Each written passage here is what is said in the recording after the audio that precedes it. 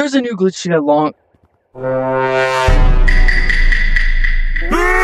a new glitch to get long arm slash tag reach in Gorilla Tag, and it's really easy to do. Anyone can do. I'm here with Diesel. I'm cutting that out. It's in clouds. You don't need any prior experience on how to glide or anything. Let's get right into it. Alright, so the first thing you want to do is make your way over to these gliders right here. Once you found some, pick pick out your color of choice. It can be red, orange, whatever. Grab one side of the glider, then the other side, and then you're going to work your way over to the wind tunnel. Once you get over here, kind of gotta go one step at a time. Keep holding on with both of your fingers. Your glider will disappear, but that's not a problem. Don't let go though. Alright, I'm gonna have you stand right there. Don't move, don't move, don't move, don't move.